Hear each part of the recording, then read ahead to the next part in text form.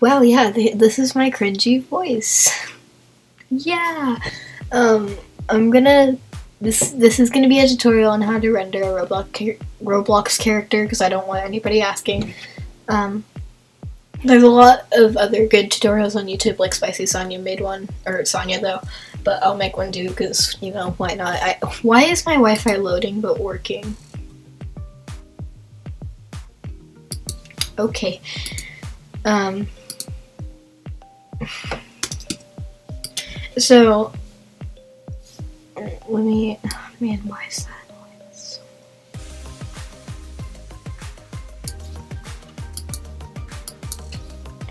Just okay. So oh wait, actually you know what? what? Oh that's not what I wanted to do. Okay.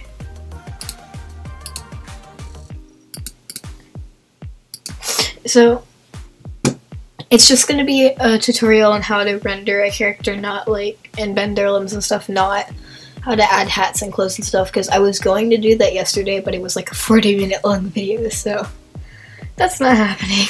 Um, so let's get right into it, because I don't want to make a 20 minute long intro. Sorry, I'm sick. Okay.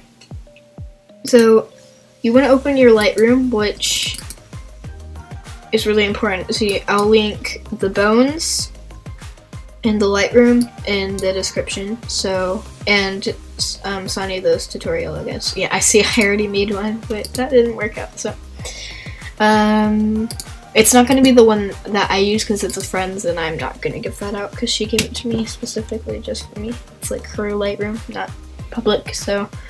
Um, It'll probably be in your downloads folder because you're downloading it from a browser, but wherever you download it from, it'll be there.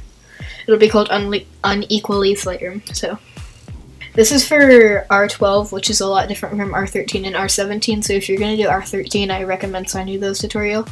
So if this comes up, I don't know if it will. It probably won't on Unequallys, but if you ever get a different Lightroom, don't worry about it. It's not gonna affect it. So okay.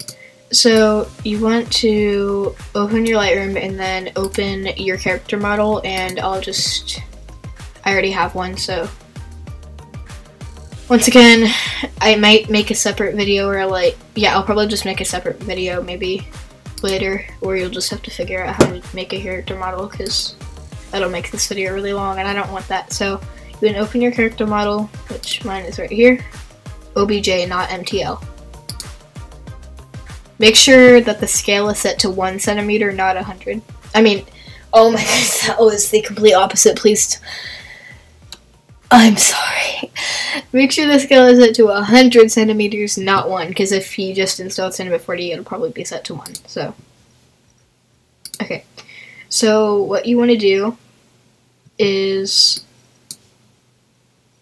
um don't freak out because it looks like this. It's not going to look like that when you render it. You just have to get everything right up. okay.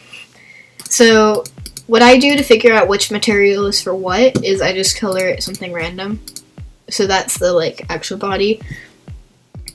Oh my god, no, I don't want to open timeless. Thank you very much.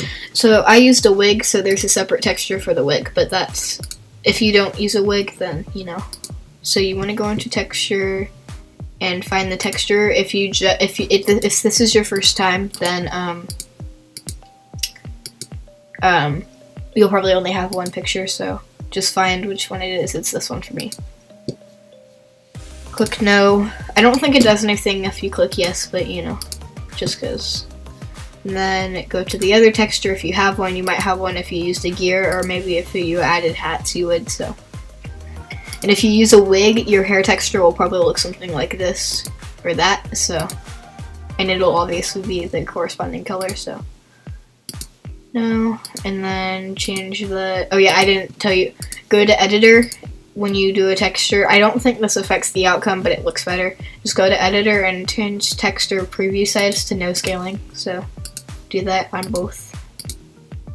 Okay, so now you want to select both by I think holding controller command and clicking on the other one or just clicking and highlighting them like that. Or you could just do it one by one but it's just easier this way. And uncheck specular.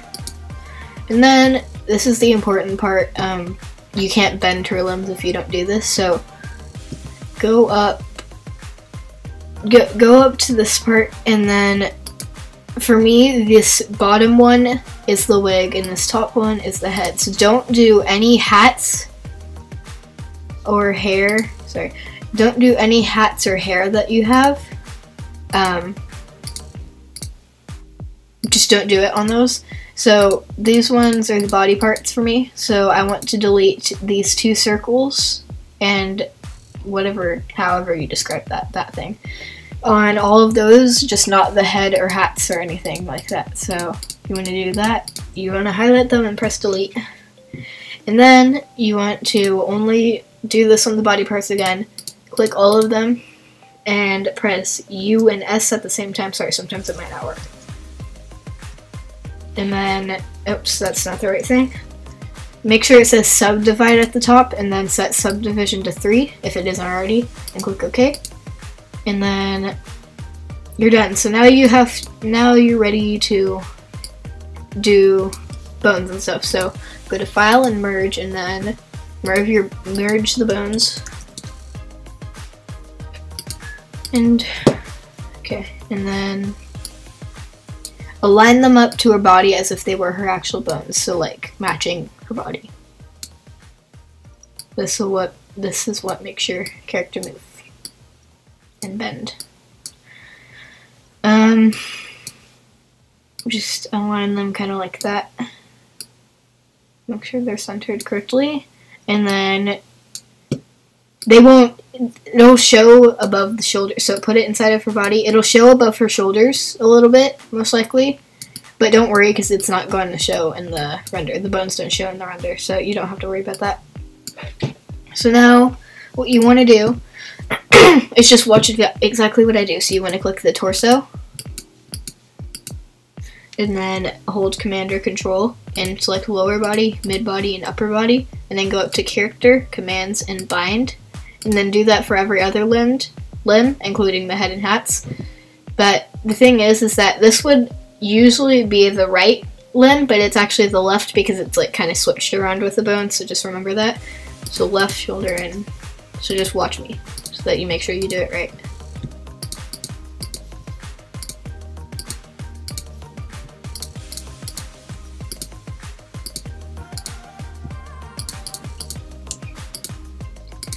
And then once you're done with that, oops, I moved it a little bit, sorry.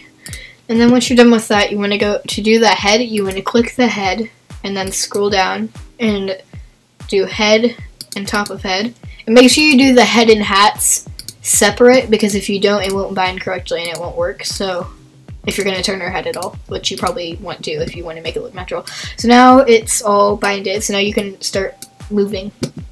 So I'm just going to do it from an angle like this because this is what most of my renders are at. And then I just turn her head. So you want to go to rotate. Moving, I only do moving if I'm moving the head, which I usually would not be doing. Or if I'm moving like the arms, which I usually do actually do. But otherwise you want to rotate everything. So go to head and rotate it however you want to if you're going to do it from an angle like this. If you're doing it from, from a front angle, maybe have her look up, but that's it. and then to bend her limbs, I recommend kind of moving it out a little bit depending on the pose and then go to elbow and bend the elbow. So like, let's give her a sassy pose. So like, if you want her to have like a sassy pose with her arm on her hip, that's a, that's a little too bent.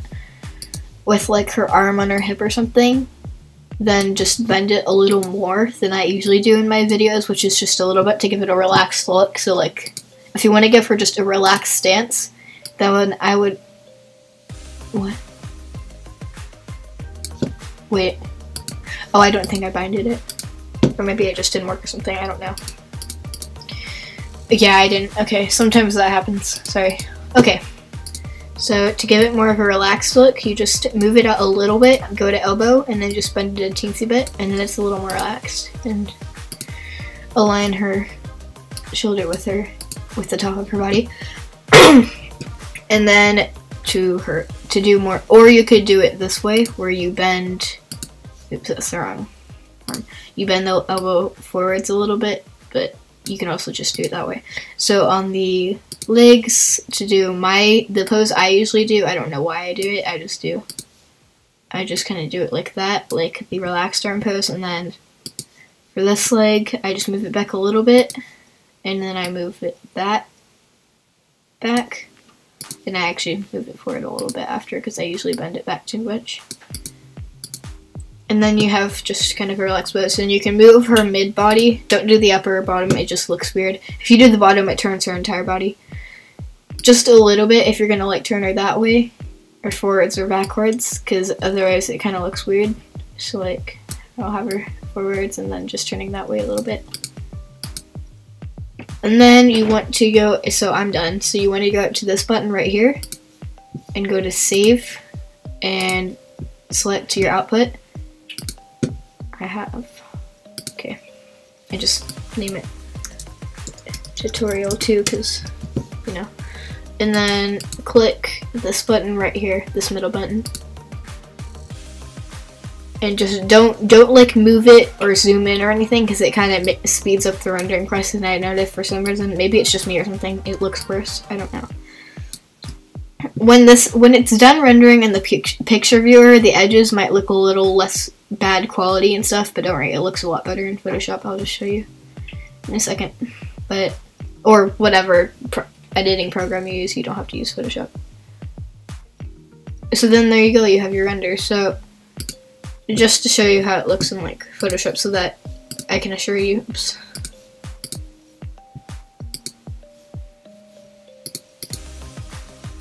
Oh,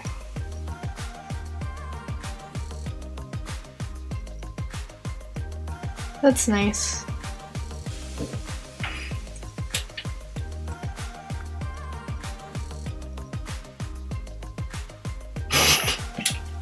Anyways, just, I won't even say the sizes, just look up Roblox ad sizes if you're doing an ad. I don't know why it's doing that, just let it do it. Okay, so for a group logo, I usually do 500 times 500 and it works fine. Roblox ad sizes, like I said, just look that up. I'm not going to tell you. So do that and then just open your render. It's transparent, not black. Don't worry. I already have my renders open. Tutorial 2. And then you can see we have her. It's It looks a lot nicer than it looked in the picture here, so don't worry about that. And then just paste it and position it and size it however you want to.